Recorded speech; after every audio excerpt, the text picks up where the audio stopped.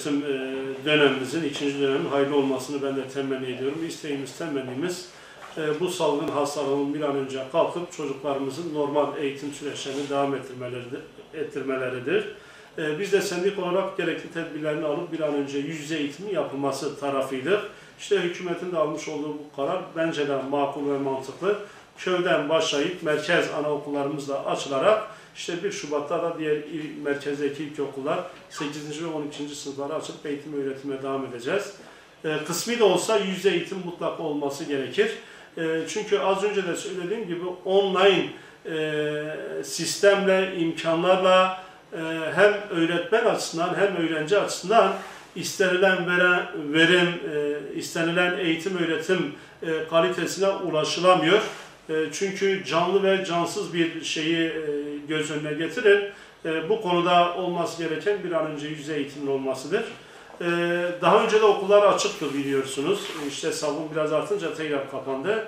Gerek idarecilerimiz, gerek okuldaki öğretmenlerimiz ve diğer eğitim çalışanları işte hijyenik bir ortamdır, dezenfekte olmasıdır, el temizliği ile ilgili öğrencilerin maskesidir ve bu uygulayacağı kuralları önceden öğrenciler de en azından işte basından, diğer taraftan vesaireden ya da öğretmenlerin uyarması sonucunda e, bu tür bilgiyi edinmişlerdir.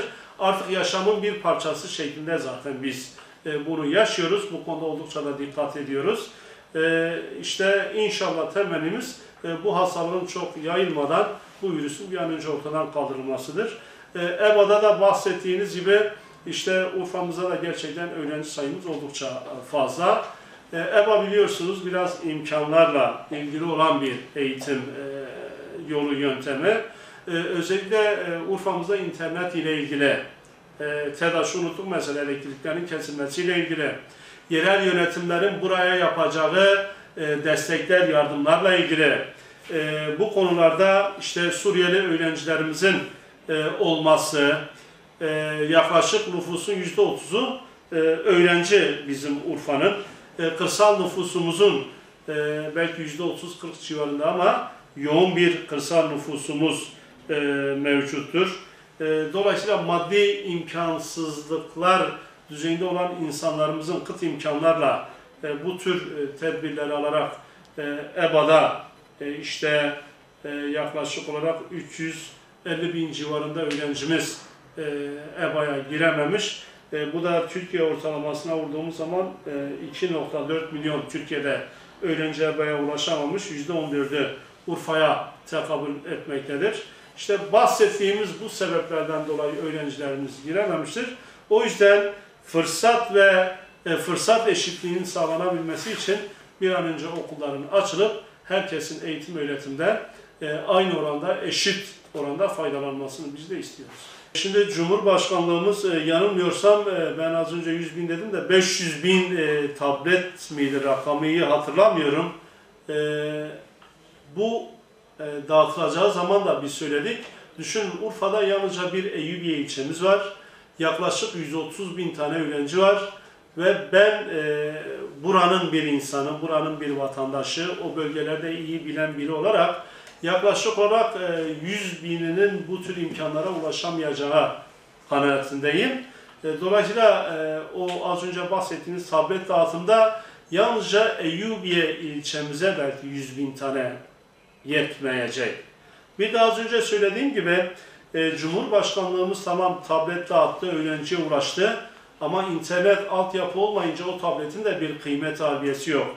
O yüzden ben buradan tekrar yetkililere sesleniyorum. Ee, hem pozitif ayrımcılık olması açısından hem de yerel yönetimlerin de bu işe mutlaka el atması gerekir. Bu çocuklar bizim çocuklarımız. Bu çocuklara bizim bu tür imkanları mutlaka seferber etmemiz gerekir. Gerek internet ağının ulaşımı ile ilgili işte sonuçta belli bir ücret ödüyoruz. Bu tür imkanları olmayan insanlarımız çoğunlukta hem ücreti ödeme ile ilgili hem bu tür imkanları işte tablettir, bilgisayardır vesaire bunlar da ucuz değil. Daha önce de mesela bu konuda biz e, bir çağrıda bulunmuştuk. Bununla ilgili KDV dediğimiz o tüketim, e, özel tüketim vergisinin alınmaması. Şimdi biz eğitimciler de bu konuda e, zorlanıyoruz. En basit bir bilgisayar 5-6 bin TL'den az değil. Dolayısıyla bir şekilde bu fırsatın devlet ya da yetkililer tarafından bu imkanların herkese ulaşabilecek bir düzeye e, ulaştırılması gerekir. İmkanların seferber edilmesi gerekir.